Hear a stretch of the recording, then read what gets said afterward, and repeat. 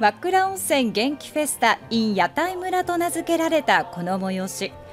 県内をはじめ富山県と高知県からもよさこいチームが参加し総勢およそ260人の踊り手が演舞を披露しました。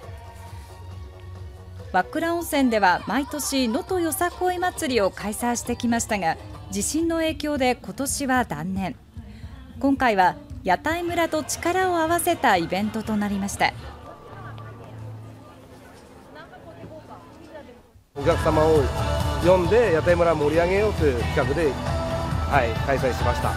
高知で富山の方からどうしても踊りに行きたいという依頼がありましてでイベントをすることに決めました。会場は踊る側も見る側も復興に向けた熱気に包まれていました。